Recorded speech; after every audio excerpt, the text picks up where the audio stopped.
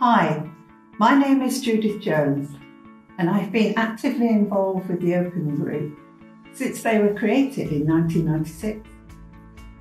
Initially, I was interested in them because they were uh, initiating standards for the IT industry, which were offering interoperability and improved operations productivity for clients.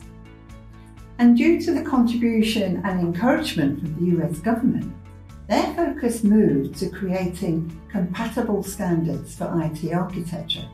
And this was really where I became very interested because here in the UK, and also what I had seen in other uh, countries, then many of the clients that we had there were locked into vendor architectures, which were very expensive to maintain.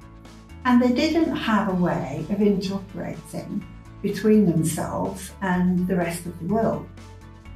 So I was very interested in this because my clients in the UK, particularly, were keen on doing uh, integration of their architecture.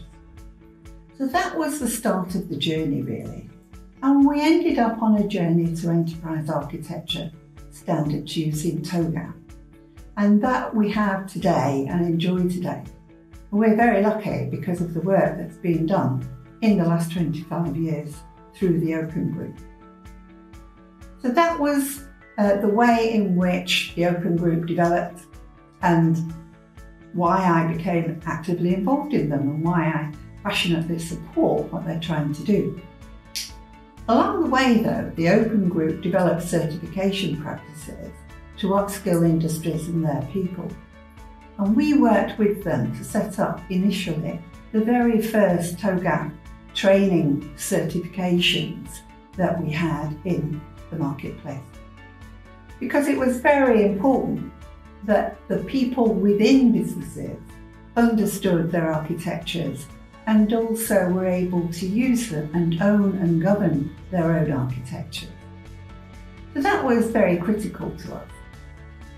Um, now, the Open Group staff have always encouraged contributions from all their members to enhance the TOGAF standards and embrace the wider business world.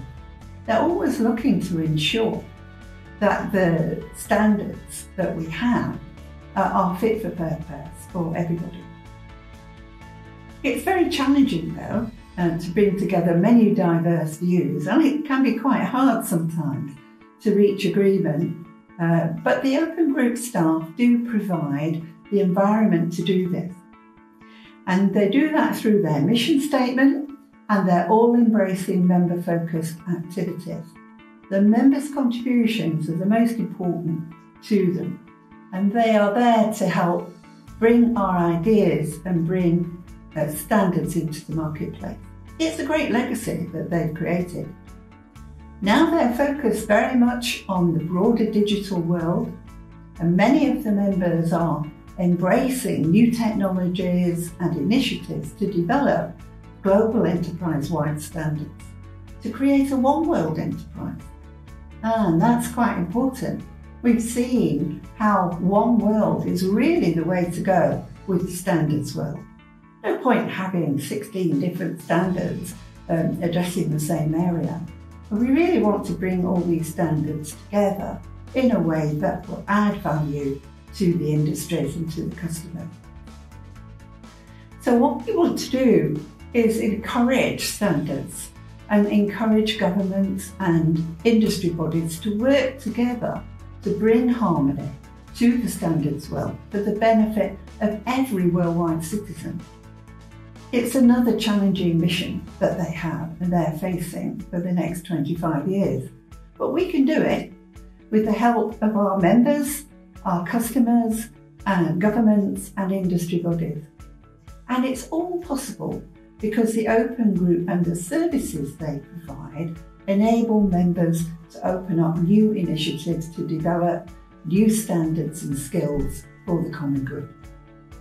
So it's my hope and dream that we will have global enterprise architecture uh, coming uh, so that everybody can join in in the world. And I hope that the Open Group uh, will be successful in their drive to establish these global standards worldwide. So I wish you all the best. Thank you.